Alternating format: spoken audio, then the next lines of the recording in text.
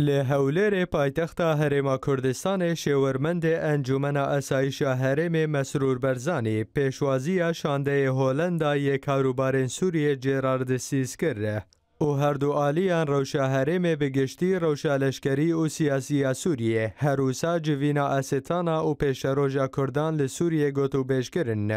دوی جوین ده کو هولیر پیکات شورمند اسایشا کردستان راگهانده کو پیمان هولیر و دهو که دناورا آلین کردی ین روژوای کردستان ده او یک ریزی وان نه گرانتی لسر بدست خستن مافی گل کرد پیش روژا سوریه ده هروها بجداربونا نونرین گل